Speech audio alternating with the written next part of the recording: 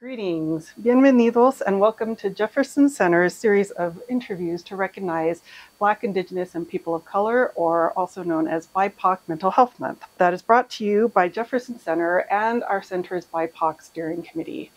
I'm Amanda Daniel, Manager of Diversity, Equity, and Inclusion here at Jefferson Center. With us today, we have Julissa Soto, who is the CEO of Julissa Soto Health Equity Consulting. Welcome. Thank Um, you. what else would you like us to know about you as we're getting started with this interview? Well, you know, well, thanks for the introduction, Julissa Soto, as Julissa Soto, and also CEO as Julissa Soto, Latino Health Equity Consulting. Everything I do has my name because I love myself very much. So uh, everything you're gonna see Soto, you're gonna see Julissa, but it's all over the place. And um, I learned that at, later when we have a conversation, when we continue with this conversation. I will let you know why is it that everything I do has my license plates in my car is Soto one. Why is it that everything around me is Julissa or Soto? But Okay. anyways, my name is Julissa Soto. I'm an independent health equity consultant for and, and also a commissioner for a suicide prevention commissioner. I take the attempt survivor seat. I'm also the vice president of the Colorado Springs Hispanic Chamber of Commerce. Also, I serve in many boards, so I wear many hats every day. So it depends on what day of the week I'm here, you know, presenting myself. I will tell you what kind of hat do I have on that day. Okay. So, how did you get into this type of work and your focus on uh, the Latino mental health? Well, when I came, uh, I was born and raised in Mexico, in Michoacan, Mexico, and I came to United States 27 years ago. I arrived to um, first California because I crossed the border from Mexico, Tijuana border, and arrived to California and from there to Colorado.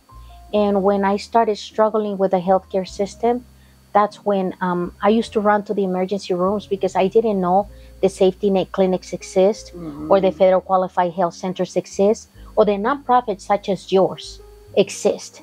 So I used to run to the emergency room for anything that was going on with my kids. And I remember being very frustrated and, and praying to God and saying, if you give me the power to create changes and help my children, myself, and the community, I will dedicate my life, all my life, to public health and to my community. And they say, be careful what they ask for, what you ask for, because He gave me the power. He gave me my businesses, and He gave me the um, the voice of the voiceless. He gave me a loud voice. So uh, I'm here. You know, um, that's how my career started by frustration of navigating healthcare systems that they say that they're there for us hmm but not really. I think that when you have poor health systems, you also have poor health outcomes. And I see that all the time, especially here in this country. And can you tell us a little bit more about some of the barriers you see, especially for Black, Indigenous, and people of color in this country? And if you know anything specifically about Colorado, that would be great as well.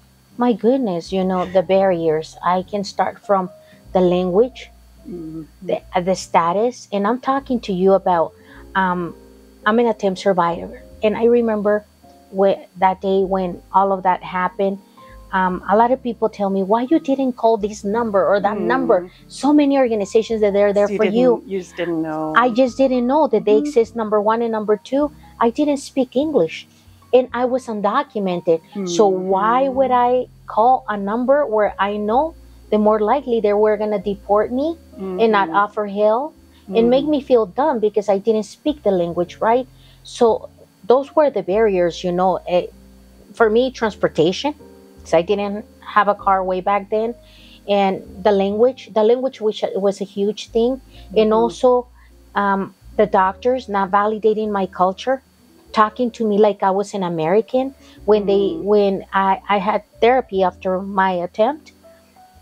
You know, my therapist keep telling me keep telling me you are in America, you're good, and I'm like, well, I'm in America, I'm in United States, but when I go home, I, am still the Mexican that I am. I still watch Spanish channels. I still have to do, deal with a culture that is not okay with mental health problems or issues, right? I always struggle with depression and I knew that, but I didn't want to tell nobody because in my mm-hmm. culture, it's like, no, you're not depressed. You're just, you just don't feel well today. when you talk to somebody about it, they're like, please don't talk about that anymore. You're not depressed. That doesn't exist in our home. That has never Mhm. been part of our culture. Don't bring that to us. So when I heard that from my family, I never talked to them about it again. You know, Mhm. I had to deal with my um, depression and call it being weak because that's what my Mhm. family thought. That when you're depressed and you're sad, you, you have a lot of weaknesses. Mhm. So that's what happened.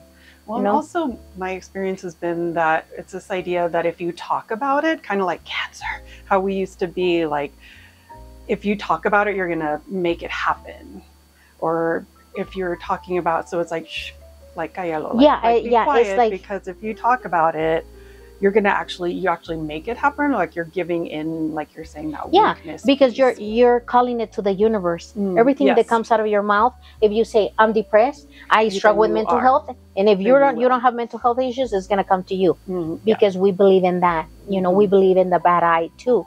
Like if Mhm. somebody gives me a bad eye and say, "Oh, Julissa is very intelligent, very pretty," yeah. or they give me a bad eye, and all of a sudden I struggle with mental health issues, right? Which is Mhm. all those are myths, yeah, and like they're part of the evil- culture. The evil eye. the evil eye i'm like Mhm. whether the evil eye has to do with mental health but okay you know i i learned how to respect and accept my culture the way that they think about mental health now i refuse to accept with myself that i don't have a chronic condition i do and uh, i get it i treat it like diabetes right Mhm. you have your medication and your diabetes is controlled. Your you Mhm. get your A1C test and you're good to go, right? I Mhm. treat my condition that way too. hmm Yeah, I think that's really important to make that connection. That physical, that mental health is is health. Yeah. And so, what have you done to combat some of those stereotypes that you're talking about, or that access to care? And I am hoping with these kinds of videos that we can uh, get the word out that we're here and uh, that we can help in a lot of ways.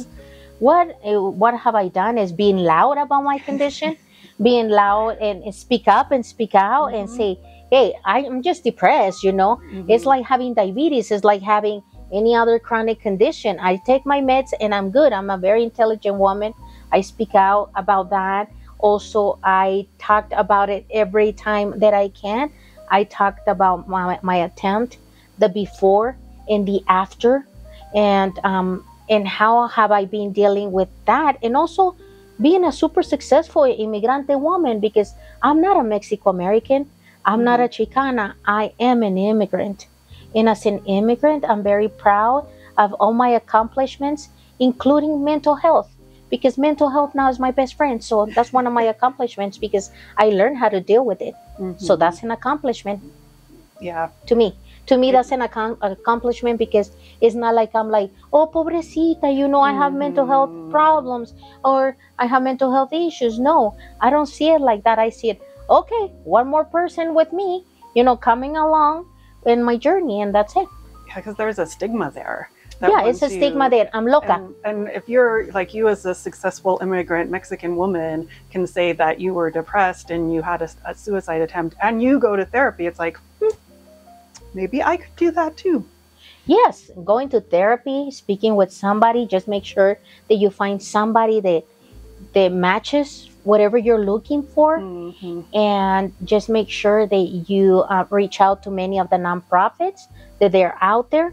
A lot of those nonprofits don't charge a penny. Some of them might charge a little bit, but if mm-hmm. you have Medicaid, if you have any type of insurance, your insurance might cover your visits. It's always programs at no cost, but we just, as an immigrant community and re- immigrant and refugee communities, don't inform ourselves that much Mhm. because we stay among ourselves. or they tend to be isolated. Yeah, we're isolated. yes. you don't know. Like, yeah, if I do give my information, what are what's somebody going to do with it? And Exactly. that scare, that fear is bigger than uh, needing to get the help. if you get if you get that information are you going to deport me because when i was at Mhm. the hospital after i attempt um, i don't you know it was i was struggling a whole lot when i woke up because i was um, handcuffed to the bed right and i was like what happened here and everything else right thinking what have i done and i was like shoot, what is going to happen to my citizenship? Because by then I was trying to fix my papers and I Mhm. didn't want immigration to know that I have attempt against myself and consider that maybe as a public charge. I had a lot in my Mhm. mind. Yeah. You know, I was not that worried about my mental health problems. I think I was more worried about immigration. And Yeah, I know yeah. that immigrants and refugee communities, they're not that concerned about the problem. They're more concerned about immigration, what immigration can do to us. So in here, we're here to give hope to those Mhm. immigrants and to understand that going to therapy, being at the hospital, is not going to hurt them. I'm now a U.S. citizen. I have dual citizenship. I'm American and I'm Mexican. And my incident didn't hurt at all. My status or or my paperwork or you know. Mhm. And for those people who may be listening or watching that don't know what a public charge is, could you just say briefly what that what that means? Yes. Public charge. Basically, it's something you know. It's the law. If you are undocumented and you apply for benefits, they consider you a public charge. Mhm. basically what the government of united states want to know is that if they give you the right to be here in united states that you're not going to be depending on the government for example food stamps tanf Mhm. medicaid Mhm. all of those benefits right Yeah. but if your children are us citizens and you come from a mixed status family you are undocumented but your children are us citizen your, your, your children can qualify for those benefits Yeah. as long as you are not the one applying for those benefits immigration doesn't care about your kids because they're US citizen. They care about Mhm. you. If you have applied for all those benefits, then that might hurt your the process of your paperwork and everything else.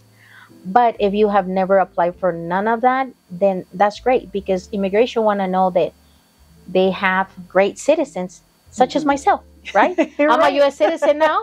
hey, this is my country and and I contribute to my country. Well, I'm bringing it back to BIPOC Mental Health Month.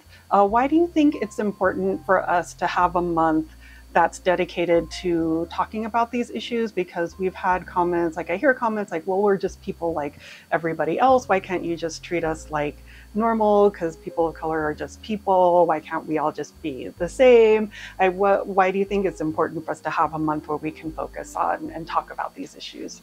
No, if you can have the whole year, that's great, right? yeah, we But- should be talking yes, about it uh, year round. But but a Very- month, yes, but a month is great. But I honestly think that no, we are not the same. I don't agree with that. We all have in here. You and I might have the same necessities, but the approaches and the outreach has to be different. I'm Mhm. an immigrant. You're not. You might not. You might not. You know, face the challenge of the status and the language. Right? When I was undocumented, Mhm. that would that would be a big difference between you and I, especially to reach out for services.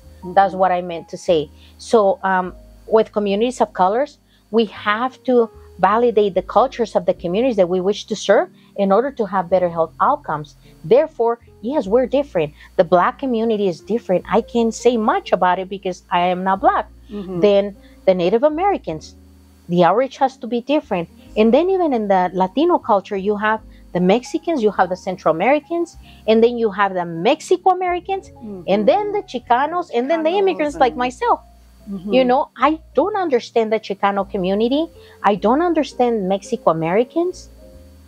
I'm an immigrant. I understand my immigrant community. Mhm.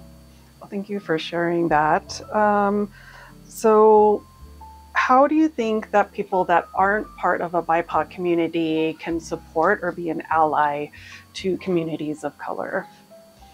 By um, to support communities of color by Mhm. having better policies, by having better programs and program. When I say better programs, is because you you guys programs are already good, but better programs when it comes to BIPOC communities have have maybe a night to speak with a therapist, not to have a therapy, but just to introduce charlas, you Mhm. know, just pláticas with a therapist. Mhm. Do you think I need this or not? In the African community, then you might have something that attract them, and and I I just think that um, that you know people who are not part of the BIPOC communities need to understand that they can sympathize and empathize their struggles, but never replicate it. Right? You can Mhm. never replicate my struggle, and I know that Mhm. because I was the one that it was 16 hours in that trunk of a car. I was the one that attempt to kill herself, right? Mhm. You will never replicate my struggle, but you can empathize with me. So I feel that lots of support for BIPOC communities. Um, like the great idea that you have for that campaign of tattoos and everything else. I think that's Mhm. super cool. But also publicizing all of that because I feel that a lot of the times the mental health providers, services, nonprofits are not as loud as they should be. We still quiet. We still not very loud. We still um, and, and even in when I go to galas um, meetings, people talk about mental health, but then say it's exactly the truth. How did you get there? I want to hear the stories of people. What made you wanted to kill yourself? Was your Mhm. bad your life that bad that you wanted to kill yourself? Like give us the chance to talk about our stories. Give us the chance to be loud and support us with that and through policies. Then when I introduced myself, and you know, the new Julissa came along and now I'm the CEO of my own company and doing pretty well. Yeah, and that you're not afraid to, to say who you are and, and to talk about what your strengths are and that you bring strengths to the table. Yeah, I know, mi niña. I'm not afraid. I'm fierce. I, I'm fierce. And when you know, when I get called to be a keynote speaker, I always send them to my website and I say, please look at my website because I don't want you to limit me from my words. And they're like, Mhm. can you give us some bullet points? No. Why should I give you bullet points when you're the one that looked for me? Yeah, you're asking me to come. Uh huh. You're asking me to come, so you do your homework, Mijo. You do the bullet points for me, and then I'm gonna tell you one thing. I do talk a little bit about politics. I talk a lot about God, and I talk about reality.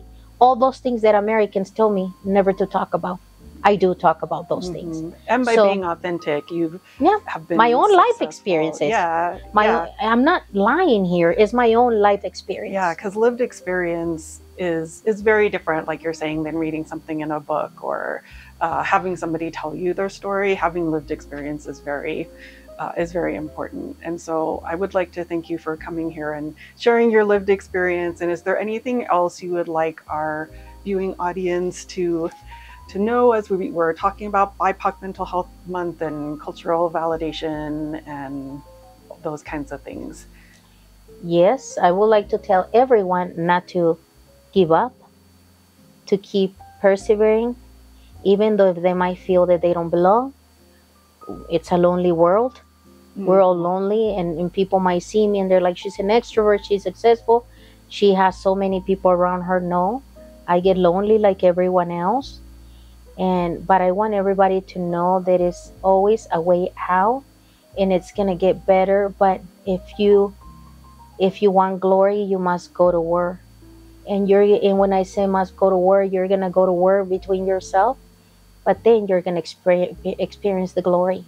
And the glory, it's wonderful. When you get there, nobody can stop you. And I'm experiencing glory now. So after I went to war. Well, I believe that. Well, thank you so Yeah. much for, for being with us here today. Gracias por estar aquí con nosotros, Ulisa. ¿Y qué comentario tienes para los que están escuchando o, o viendo nosotros en este mes de, uh, de BIPOC Mental Health Month? ¿Qué quieren que sepan? El consejo que yo les doy a todos este, y que quiero que sepan es de que no están solos, siempre hay servicios allá afuera para todos ustedes. Encuéntrense ustedes mismos, ámense en ustedes mismos, tengan esa pasión, porque recuerden, si quieren gloria, van a tener que ir a la guerra. Y veo que, que uh, tú eres guerrillera. Yo soy guerrillera al 100%, soy Adelita, soy de lo que me quieras Mm. llamar, pero soy guerrera, eh, yo ya pasé por la guerra y ahora estoy viviendo la gloria. Gracias. Gracias a ti.